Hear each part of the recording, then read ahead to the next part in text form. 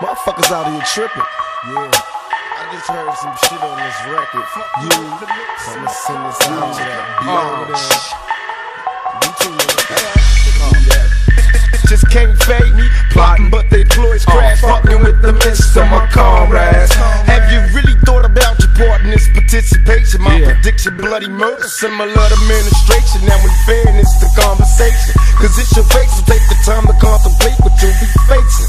Talking that hip hop shit, don't get shot, bitch. Cause you can tell all in your clip the eat pop, dick the clips, uh-huh. and prepare for the motherfucking death blow.